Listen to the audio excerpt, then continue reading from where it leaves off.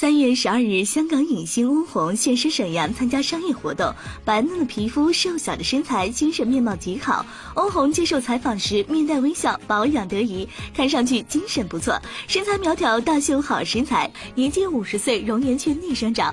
翁虹现场演唱两首歌曲，迷得让男主持人不由单膝跪地对女神行吻手礼。不久前，翁虹晒出一组结婚十年纪念照，照片上的她保养得当，网友纷纷称赞她是逆生长。宛如二十多岁，欧红表示，她和老公刘冠廷只相识四个月便结婚，当时婚礼都没办。